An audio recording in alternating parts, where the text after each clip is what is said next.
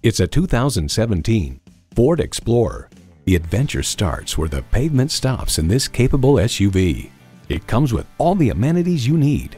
Integrated navigation system with voice activation, power heated mirrors, front heated leather bucket seats, configurable instrument gauges, sync services Wi-Fi hotspot, dual zone climate control, EcoBoost engine, hands-free liftgate, sport suspension, and automatic transmission. The Car Connection notes performance in government crash tests is good. Ford is America's best-selling vehicle brand. You need to drive it to believe it. See it for yourself today. Welcome to Eric Von Schledorn Ford, Sheboygan County's largest Ford dealer.